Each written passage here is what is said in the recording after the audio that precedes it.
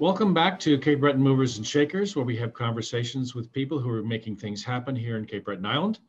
I'm Richard Lorway, president of GoCapeBreton.com, and uh, with me is Jonathan Buffett, founder and uh, manager of Cape Breton Mesonet. Welcome, Jonathan. Hi, thanks for having me. Great, great you can be here. So, for those who don't know, let's just start with the basics. What is Cape Breton Mesonet? Uh, it's a network of uh, weather stations across Cape Breton Island, um, and uh, it uh, it's a very uh, dense network of stations, which is where the name Meso comes from in the term mesonet.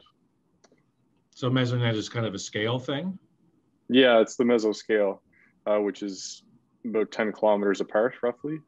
Okay. Um, yeah. So, yeah. And how many weather stations is that on the island currently? Uh, as of now, there's 89 on the island, I believe. So holy Mackinac! All right. Yeah, you've been busy. Quite, quite a few. Yes, yeah, and uh, and me and several others in the community as well. So uh, it's been uh, quite a quite a thing that that you know all of us have accomplished. It's been pretty good. Excellent. So so so when you started, that you were basically by yourself. Is that my understanding?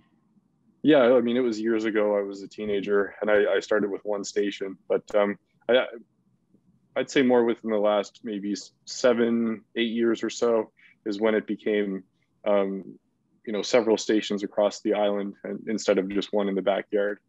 And from there, I reached out to other people. Um, actually, one of the first uh, people that I, I, met in doing this was Bill Danielson, oddly enough, and um, and then through him, I, I got to meet quite a few other people on the island. And uh, so in the last five years or so, it's really it's really taken off, and we've had a lot of interest, in, you know, from the community and and uh, from many many different people. Um, and uh, now the island is covered with almost 90 stations. wow. So, so have you always been interested in the weather? Yes, yeah, ever since I was a kid. And you, and you, you currently you work for Environment Canada, do you? Are we allowed to say that? Yeah, I do. Yeah, I work for them. Um, so the, the Mesonet is is uh, separate from them, but uh, but yet very similar in the type of work that I do with both my my day job and my hobby, so to speak. Gotcha, gotcha. Yeah. Okay. Um, and, and so a bit of your personal history, like where are you from, and um, where you got started? You said in your backyard. Where was that, for example? Uh, that was in Port Hawkesbury. Okay. Yeah, so um, the station is still there uh, at my dad's house in Port Hawkesbury, and um, um, so uh, I was I was born in Cape Breton, and uh, I grew up in um, in in Dartmouth for a number of years, and in Port Hawkesbury, and also uh, live in Sydney Mines part time as well. So I've been here and there and everywhere, but uh, much of that time in Cape Breton. Right. So, so uh, what kinds of information do the weather stations gather? Uh, so they gather uh, temperature, humidity, uh, wind, pressure, um, rainfall. Uh, some of them do water temperature uh, and solar radiation, which is the intensity of the sun. Um, and yeah, so they, they cover all the, the basic weather elements that um, the vast majority of people are interested in monitoring. Right. So, so it, it these stations all feed this data in in real time to the website. Is that correct? Yeah. Yeah. So um, to the website, um, uh, minutely data is updated uh, for some of the cellular stations, which are in remote areas. It's every five minutes, but um, but yeah. So every minute you can see the live data on there, and uh, also historical data as well. Uh, and I'm in the process of of trying to build a more modernized archive system. Um, but uh, but as of now, the, the, the front end of the website is uh, is uh, is pretty well where I want it to be. So, um, but yeah, there's there's been some work going on kind of behind the scenes with the website as well to make improvements, and uh, I've been beta testing a few things. So um, there will be some improvements coming to the uh, the interactive map in another couple of weeks right? So, so you store all the data long term, and at this point, it's been several years worth of that. Yeah, um, some of them have over 10 years. Uh, many of them are probably within the last five to six years. Um, but yeah, some of them have 10 or even 15 years or more of data. Mm-hmm. So, so, how how do you see this this being used this data? What what is what can people what benefit I guess what? Well, uh, there's there's different um, there's the real time uh, uh, you know advantage of I don't know if someone wants to go uh, go out on the Bras d'Or Lake with their boat or or just wants to go to the beach they want to check the water temperature in Ben Eoin um, or Baddeck or Iona. Um, or you know any day-to-day activities for, for you know um, most people. Um, and then the other aspect of it is weather forecasters um, they can they can look at the data especially you know if we get big storms like the windstorms in Chéticamp uh, they always keep a close eye on them for those. And um, and then in the longer range um, when enough of the data is collected at all these different locations you can actually see trends and averages and, and uh, any potential changes, um, specifically, you know, temperature and wind, and um, precipitation is a little harder to uh, to gather trends from, but uh, um, but temperature certainly, which is something that seems to be of interest lately. so, yes. Yes. you know, so there's there's many, yeah, there's many, and, and probably more perhaps agriculture, tourism related interests. There's um, many possibilities, and uh, I think the island has a lot to offer as well. Um, that uh, you know, untapped potential, so to speak, that uh, maybe some of this data could help to uncover. Um, so, especially with agriculture. Gotcha. So, so the island does have a lot of, I'll say, distinct microclimates, and this is just me as a layperson, my understanding. You're correct. and and um, do you find that this is sort of driving an increasing awareness of that? Very much, yeah. And in fact, it's this very um, th- these microclimates that you speak of and how pronounced they are in Cape Breton that really uh, was the the passion behind everything for myself, really, and just my burning curiosity to see you know just what's happening in each corner of the island and even um, the eastern mainland which is you know very much tied into the weather of cape breton because it's upstream. So um, i have put stations in guysborough and antigonish county for that reason so that gives us a bit better of an idea of what's coming into cape breton and just um, what's happening around it. Right. Okay. Okay. And earlier you referenced the community support. So, you know, I, am I'm, I'm on the email list, and I and I get you know, frankly, really fascinating emails about, for instance, you know, currently the the, uh, the smoke from the wildfires in Alberta and BC reaching the island, and yeah, and you know, dust from the Sahara Desert in Africa, of which I was completely unaware prior to that. Yeah. Prior to this, um, but it, again, it makes sense when you consider that you know the the world is all connected in many ways. Mm-hmm. Um, so, yep. do you? And I guess when I think about the the mesonet and and some other activities that are happening around the Bras I'm, I'm seeing a um, you know a, a phenomenon I guess we'll, we'll call citizen science. Where people are playing more active roles in in in science and doing actual field work. And and so, can you talk a bit about that and how that relates to what you do? Yeah, so um, we're able to engage with citizens that live on the island, and um, um, you know, part of it is, is, you know anecdotally hearing about what the climate is like in their area, um, putting a station in there, and then actually seeing that oh yeah, like you know, uh, this whatever type of wind that might happen there, or maybe they're in a frost hollow, that it's actually very much true, and um, and then you you also get you know you gather more engagement from these people that spreads into the community and um, discussions can arise that are you know really quite interesting that otherwise wouldn't be there you know as we see on the email list.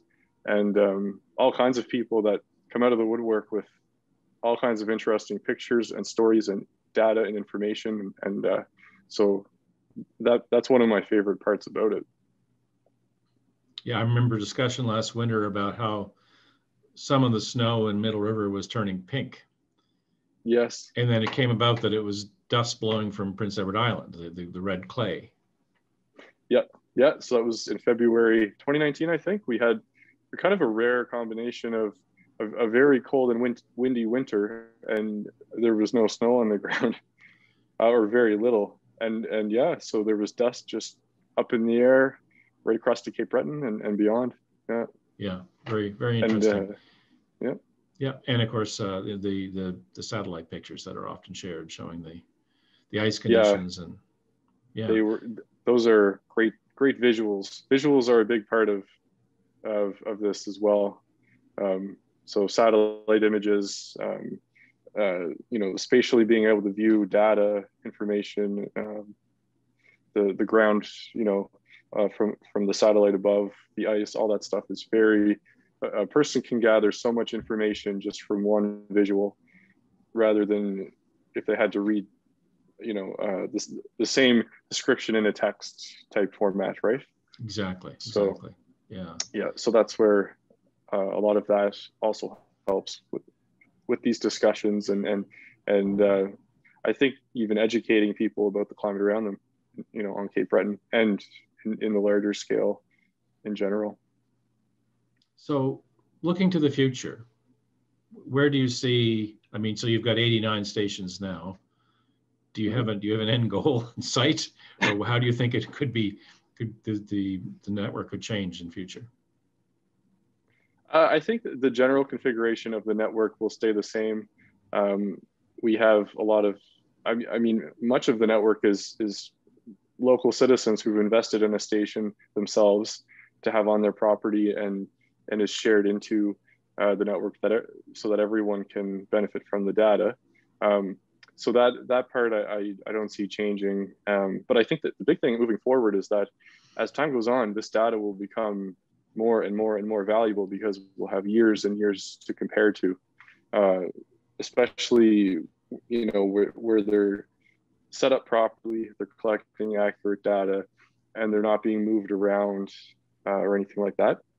And so um, in the future, we you know we could see what what kind of trends there are around the island, if they're changing, if they're not changing, uh, and if they are changing, what's happening or what's not happening, um, and uh, and also like like I mentioned before, perhaps um, it could attract some some interest to the island, uh, maybe vineyards or some kind of agriculture like that. Like you know, at one time Cape Breton had a lot of farming. Uh, yes, uh, and and the so- the soil is very good in Cape Breton. A lot, a lot of people might be surprised to know that that there's actually very. I mean, in in relative to Nova Scotia, that is um, fairly good soil. So I could see that as being um, a potential, um, I guess, benefit that could happen in the future. Um, yes, but, well, the prevailing yeah. wisdom many years ago was that grapes didn't really grow in Nova Scotia. And they then, do now. and then along came, you know, Hans Christian Jost, and, and that kind of changed. But uh, yeah, yeah. Um, so you you um, you mentioned that, people can get weather stations and feed into the network. How, how does someone get involved if they if they want to participate? Yeah, so if they want to, um, they can uh, send me an email, which is on the the website. Um, if you go to left the left side of the website, there's an expandable drop down menu, and uh, the uh, the email is there. And so um, uh, they can contact me uh, if they're interested in investing in a station on their property. Um, I and so what I do is I I get everything together um, and I set it up for them. And gotcha. then it becomes part of of the uh, the network. Um, they own the station; it's on their property, but it's um, and but I you know I, I set it up for them and I help to maintain it gotcha. um, as best I can. And uh, and m- many of them are quite helpful in in um, you know, helping to maintain them as well. Like if, if a rain gauge is clogged with leaves and just needs to be cleaned out or uh, a battery needs to be changed, little things like that. So gotcha. that's a big help. Yep. So you've done a lot of this on your own dime so far. Is that ac- accurate? Yeah. Yeah, most definitely. yeah. and and uh, so I so it's mentioned that it's a cooperative. So if somebody wanted to support you, there's ways to do that to support this initiative. Is there? And that's on the website. Yeah, you can uh, uh, donate. Um, uh, there's a Patreon link there as well. Um, at some point in the future, I will have to, um, or uh, I'm planning to make it an official, you know, some kind of official entity. Um, so something along the lines of a nonprofit or something like that, and that gotcha. will. Yeah. Um, so that's that's that's that's kind of the next step now, um, and that that may open up opportunities to help maintain what we've created, both financially and possibly also, um, you know, needing needing help in repairing things. Because as of now it's just me and it does keep me quite busy. Oh yeah it's not your so, day uh, job. And yet it is. No no. I, I love it but uh but yeah the, the more stations there are the more um that there is to to fix. And not that they not that these stations break very often. Uh usually it's just routine little things that happen you know with wear and tear of anything outside in the in the elements. So um, yeah. So yeah moving forward I, I, I suppose you could say that's one of the things i i see changing a bit um, or evolving is is uh, is that uh, just in order to um, yeah sustain what we have which which so far has you know been a really good thing. Excellent excellent. Okay well do you have anything you want to add at this point? I think we're i think i have most of the information i i was looking for. And of course, I will share the website and Facebook page um, mm-hmm. in the post. Um, yeah, I just want to thank thank everybody for their their their interest and their support, and and many people have donated, um, you know, to uh, to the Mesonet uh, this year, you know, to help with some of the maintenance costs, and um, and you know, I really appreciate that. Every every bit of it helps, and um, yeah, so thank you to everyone for uh, for being involved with the Mesonet. Super. Well, it's it's it's a really interesting initiative, and and I'm glad I I uh, I'm glad I'm on the mailing list because it's it is entertaining. Yeah. Yeah, for sure. Okay. Well, thanks, Jonathan. That okay. was Jonathan Thank Buffett, you. founder and manager of the Cape Breton Mesonet, and we'll see you next time on Cape Breton Movers and Shakers.